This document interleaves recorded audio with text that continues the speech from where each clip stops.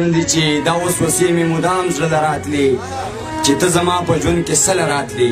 چې به په تا څه تبصره کېدله یو دم به اوښکې مې باڼه له راتلې چې دوه میین دي او کولی نه شو نو محبته بېلتانه له راتلې مرګ نو زه خو ژوند وجلی یم مرګ نو ولې ما سپېره له راتلې مرګ نو زه خو ژوند وجلی یم مرګ نو ولې ما سپېره له راتلې ملنګه زه یوازې ګرمه نه یم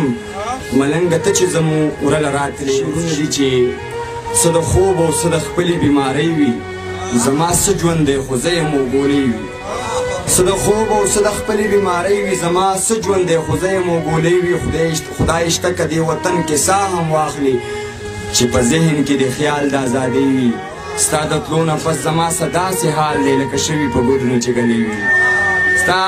د تلو نه پس زما څه داسې حال دی لکه شوي په ګلونو چې ګلې وي او بعضو بعضو سره خوله وهله بس وي بعضو بعضو سره خوله وهله بس وي بعضو بعضو کې کمې بس د لکۍ وي بعضو بعضو سره خوله وهله بس وي بعضو بعضو کې کمې بس د لکۍ وي او څه د کاره په ماښام راځم عابده او سرنګ را لتور کړی مزدوري وي اوس شي نور چې ملنګ سړی یم د زړه په کور ور هم نه ساتم خو زه د هر سړي په مینه باور هم نه ساتم بې وسه یم حقیقت دی خو کمزر په نه یم رقیب ستا په شان سړی زه نوکر هم نه ساتم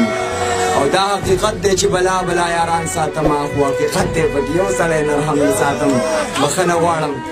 دا حقیقت دی چې بلا بلا یاران ساتم خو حقیقت دی پکې یو سړی نر هم نه ساتم اوس هم په ډېرو ډېرو زړونو بادشاهي کوم خیر دی په جیب کې که روپۍ پوره زر هم نه ساتم عبید ملنګ دې بېروښۍ داسې هوښیار کړلو چې چې لاراتو ته دې په لارو نظر هم نه ساتم